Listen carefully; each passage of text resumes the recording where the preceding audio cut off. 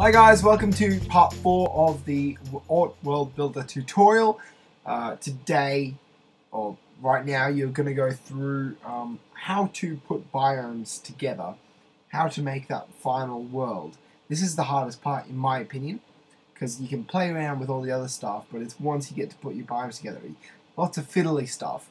Uh, but first, before we go into that, I just wanted to show you uh, that I built another biome. So we've got three biomes uh, just for this test. Uh, in Vekil, I think completely is about seven biomes. So uh, you do want to keep the biomes going, and these ones are very basic. I'll show you this one. This one has just a strata and some um, some like you know lakes and stuff like that. There's no caves, nothing like that. I could add caves if I wanted to. I probably will.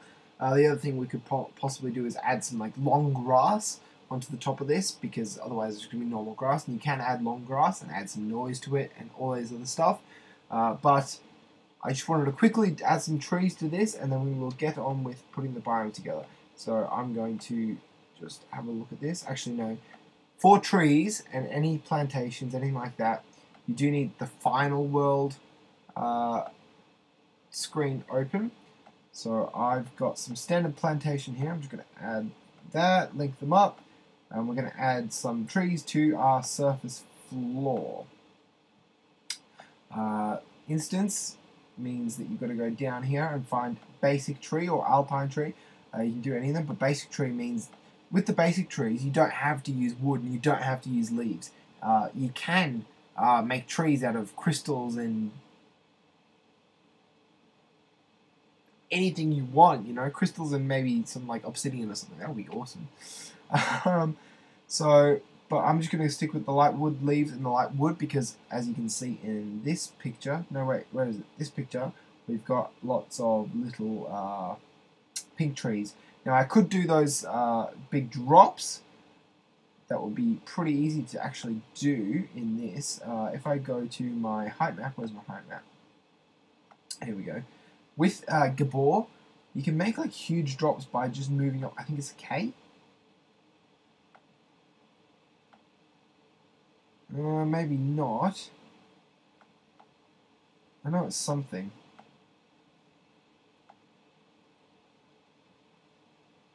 Anyways, it doesn't matter too much at the moment, but yeah, there is a way to make huge drops. And like water, I guess I guess once water works properly in Oort, it could be waterfalls and stuff like that. Uh, that's more like an ocean, isn't it? Unfortunately, you can't undo, so if you do wreck something, you've got to go fix it. So I've got to figure out what I just did. Give me two seconds. I know that moved K up, and I'm going to move my frequencies along. Let's have a look. It's being a bit slow. Come on. Okay, we need to move our frequencies more. We need to move our F along.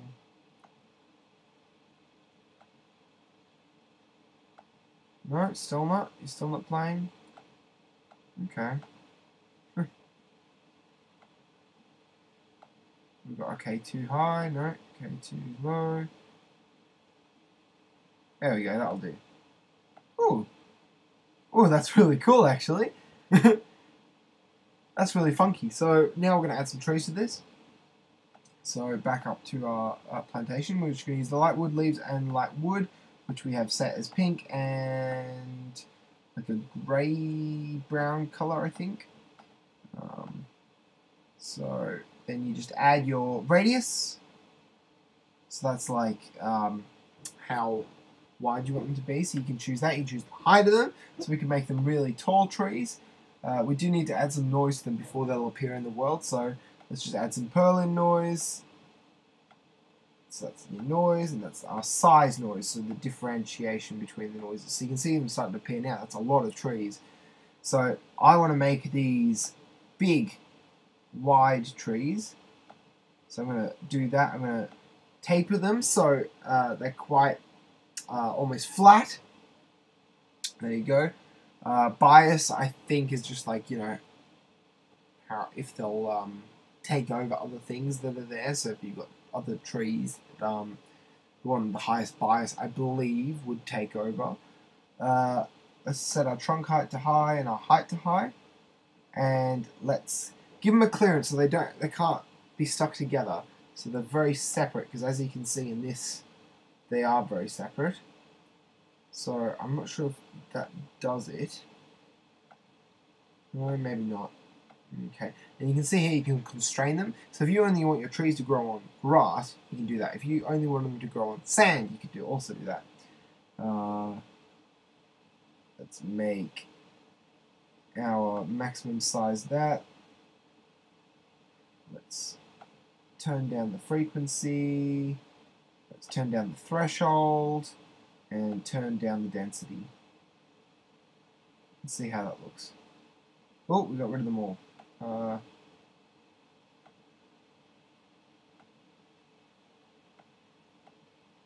there we go.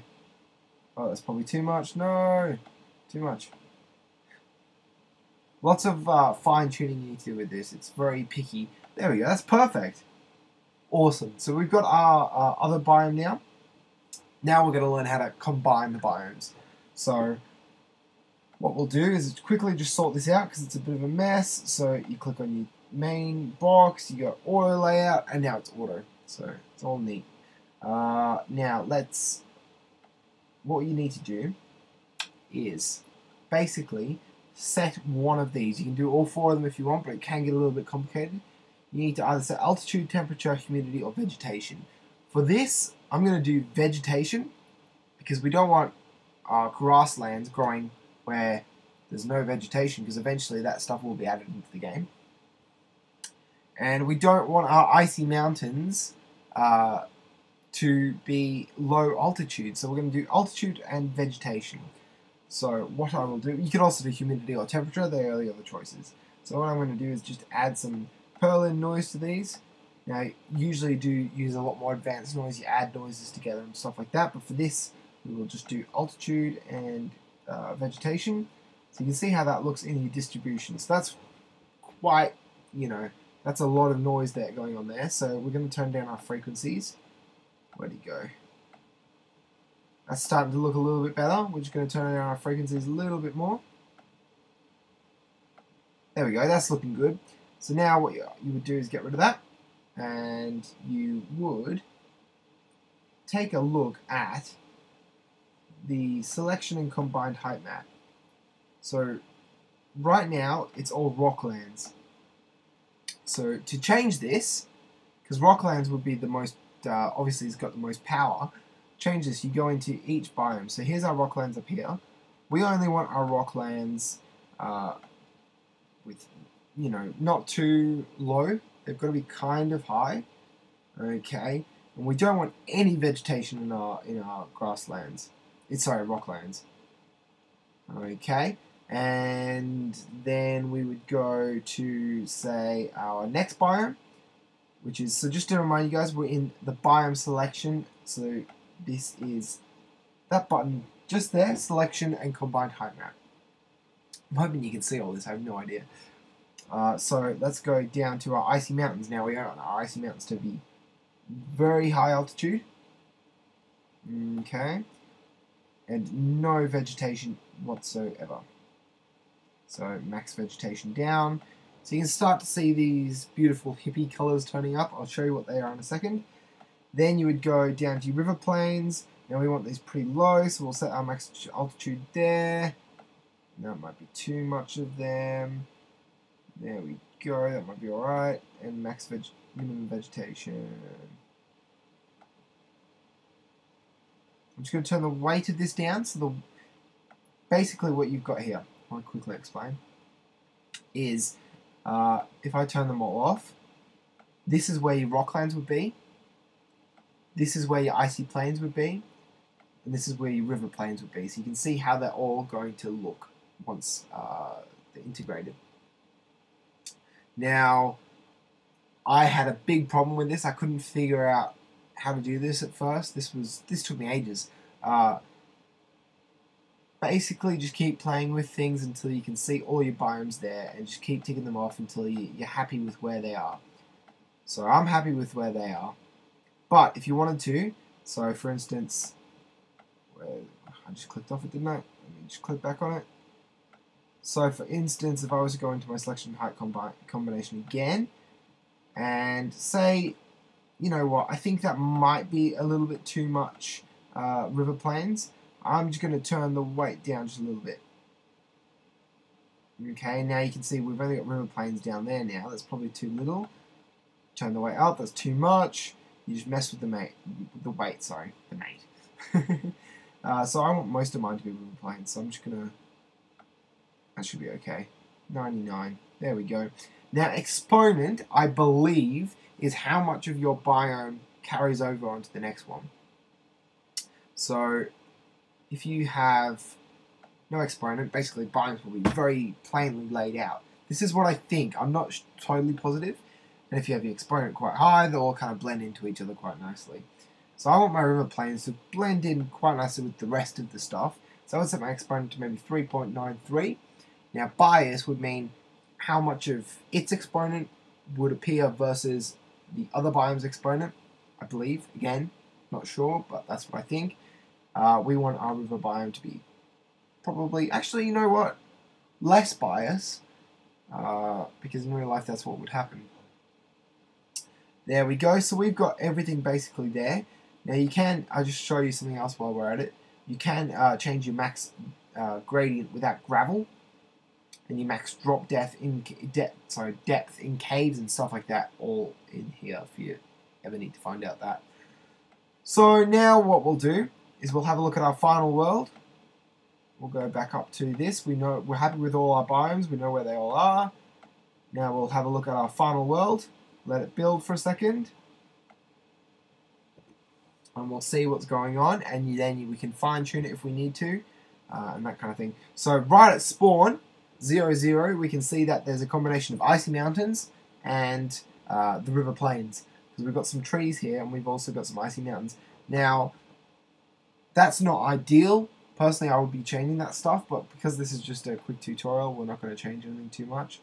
Let's have a look at somewhere else. So by the way, you can change your chunks and uh, where you are, up here, new render thing. So it looks like icy mountains are kind of taking over. There's quite a lot of them uh, everywhere we look. So what I will do, here we go, we can kind of see some more river plains. So I don't want those icy mountains to be too much, so I'm going to go to my icy mountains and I'm going to turn them down. So I will go into weight, and I'm just going to turn them down to maybe, I should be looking at the distortion height map at the moment, but sorry, the combined uh, height map, but I'm just doing this off guesses at the moment, and I'm going to turn exponent down and maybe bias up. Now let's see what that looks like. Just let that render. It can take a while if you've got a slow computer, so just keep that in mind. There we go, that's a little bit better. So there's more river plains there. There's still too much ice here, so I would be tempted to kick down those icy mountains even more. Maybe uh, set them some even bigger limitations. So I've just moved the altitude up and the vegetation down and we'll see what happens there. We might lose them altogether. See, it's just a game of um, basically fiddling and seeing what's right and wrong. Uh, this can take a while, your whole uh, height map, because it's rendering lots of different things at one point. So apparently that's what it's going to look like. You can see around the edges we've got the river, sorry, the um, Rocky Mountains strata and stuff's all integrated. Now, I haven't seen any of the Rocky Mountains in this, so I'd be uh, tempted to go and put the weight up. Where are we? Weight. And maybe give them. Actually, that might have been too much. We'll have a look. Yeah, that was too much.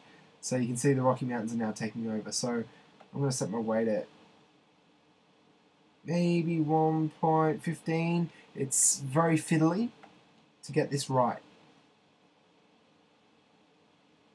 Okay, we can see in 1.15 that's still too much. Is it? No, no, there we go. We can see a, a bit of the biome there. That's that's all actually pretty good. I'm happy with that. We've got a combination of all three here. We've got the river plains, we've got the uh, Rocky Mountain, sorry, the Rocky Plat. Did I call them the Rocky Plains? must have done. And we've got our ice mountains there. So that will be a world right there. Except that I don't think I'm going to use this one. I'm not too happy with it. I love the look of all this, but this is very similar. These these pictures remind me very much of Vekil, which I've already done. I'd love to figure out how to do rivers. Love to figure out how to do these rocks, uh, but I'm not sure. Not sure how I'd go about them.